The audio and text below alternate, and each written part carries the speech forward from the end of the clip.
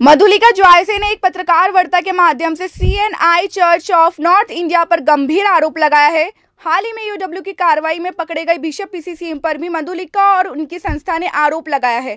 उन्होंने बताया कि पीसीसी द्वारा धर्मांतरण गलत तरीके से कराया जाता है। वहीं सीएनआई संस्था पीसीसी के माध्यम से पैसे के दम पर धर्मांतरण कराती थी। स्कूल और चर्च की आड़ में सीएनआई संस्था के द्वारा धर्मांतरण का खेल किया जाता था।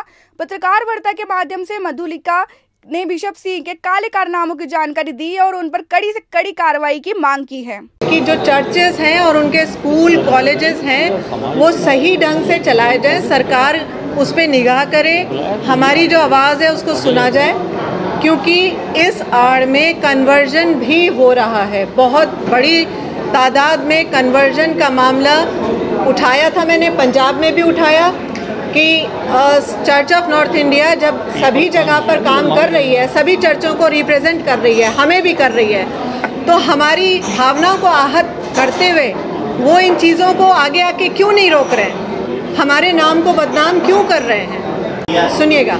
संस्था आज से नहीं चल रही है, संस्था अंग्रेज़ों के टाइम से चल रही है। चर्च ऑफ़ नॉर्थ इंडिया उन्नीस जी। जी। एफआईआर पीपी हाबिल के खिलाफ कानपुर में कराई। एक एफआईआर मैंने गोरखपुर में जे के लाल के खिलाफ कराई। एक एफआईआर मैंने इलाहाबाद प्रयागराज में कराई, जिसमें चर्च ऑफ़ नॉर्थ इंडिया के सात सदस्य जिन्होंने करप्शन किया, उसमें एफआर उन्होंने लगवा ली, पैसे देके।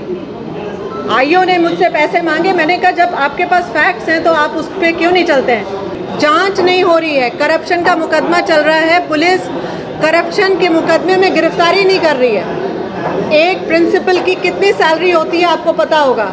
आज उनके पास में 200 करोड़ की प्रॉपर्टी है। सोसाइटियाँ चर्च ऑफ़ नॉर्थ इंडिया में कानूनी रूप से ट्रांसफ़र नहीं की गई। और इन चीज़ों के लिए कई जगहों पर हमने मुकदमे भी किए हैं चर्च ऑफ़ नॉर्थ इंडिया में। एक मुकदमा दिल्ली में चल रहा है हाई कोर्ट में, जिसमें कि सारे, पूरे भारतवर्ष के मुकदमे लगे हुए हैं कि जितने भी school, college, church of India के हैं एंग्लिकन चर्च के हैं। उसमें चर्च ऑफ़ नॉर्थ इंडिया वाले अपनी मर्ज़ी से कोई फेरबदल नहीं कर सकते कोई प्रॉपर्टी को छेड़ नहीं सकते। उसमें कोई आ, अपनी मर्ज़ी से ईंट भी नहीं लगा सकते। आप ये समझ सकते हैं। ये मामला दिल्ली में चल रहा है 1999 से। जी। इसके बाद भी उन्होंने ज़मीन कई जमीनें कई जमीनें।